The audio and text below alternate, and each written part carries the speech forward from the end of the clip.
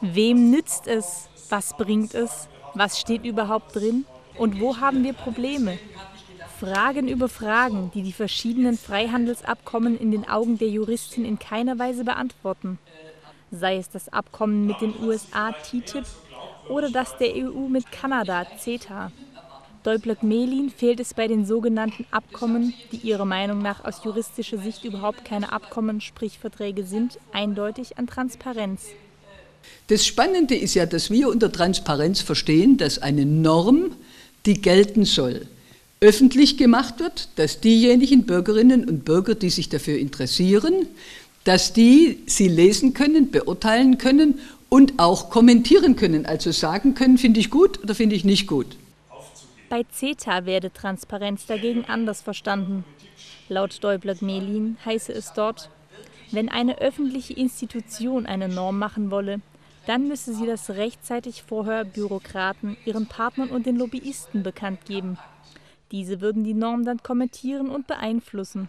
Das ist ein Begriff von Transparenz, äh, das ganz deutlich, äh, sagen wir mal, den Weg hindeutet, den dieses Abkommen geht, nämlich die demokratische Fassade zu lassen, aber im Grunde genommen die Entscheidung so vorzuprägen, dass da das Wahlvolk, auch wenn es den Bundestag oder das Europäische Parlament wählen kann, eigentlich nichts zum Sagen hat.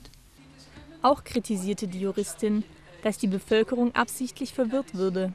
Es kursierten seit Wochen widersprüchliche Meldungen.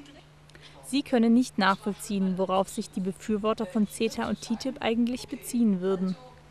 Die tun so, als gäbe es einen unglaublichen Ausbruch an Arbeitsplätzen und ein ungeheures Wachstum. Und wenn man danach fragt, wie kann das eigentlich sein, dann werden die Zahlen und die Behauptungen und die Annahmen immer kleiner. Das haben wir jetzt in den letzten Jahren erlebt. Übrig geblieben sind insgesamt ein Zuwachs an Arbeitsplätzen von 150.000 in zehn Jahren, aber nicht etwa für Baden-Württemberg oder für Deutschland, sondern für die gesamte EU. Von den wegfallenden Arbeitsplätzen sei dagegen gar keine Rede. Negativ aufstoßen würde ihr auch der Wegfall von Standards, sollte es zu einem Freihandelsabkommen mit den USA kommen. Auch verstehe Hertha Däubler-Melin nicht, warum die privaten internationalen Schiedsgerichte mit Inkrafttreten des Abkommens ausgebaut werden sollten. Sie betonte, dass sie nicht grundsätzlich gegen Freihandelsabkommen sei. Ihrer Meinung nach müssten diese aber nachweisen, was darin stehe.